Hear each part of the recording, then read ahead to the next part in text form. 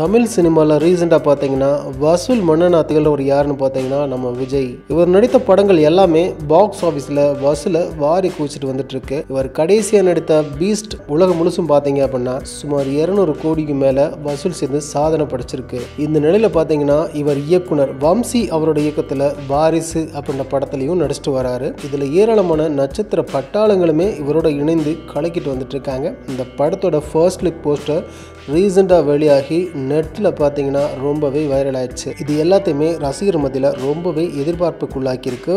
இந்நிலையில் வாரிசு படத்தோட படப்பிடிப்பில் வந்து புகைப்படம் ஒன்றும் கசிந்து நெட்டில் வேகமாக பகிரப்பட்டு வந்துட்டுருக்கு.